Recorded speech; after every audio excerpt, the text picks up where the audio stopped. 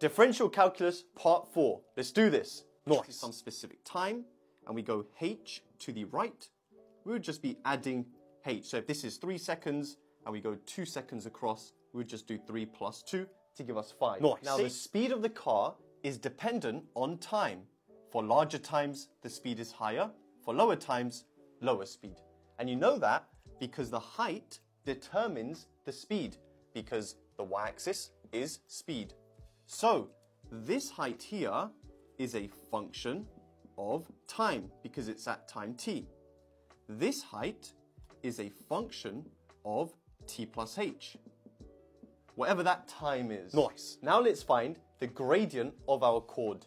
Now remember the gradient represented by acceleration is the change in speed over the change in time.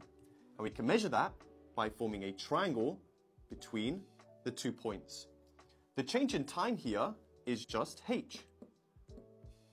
And the change in speed, where you can see this speed is the function of t plus h, and this speed is just the function of time. So the change is just the subtraction of the two values. Nice. Stay tuned for part five. Nice.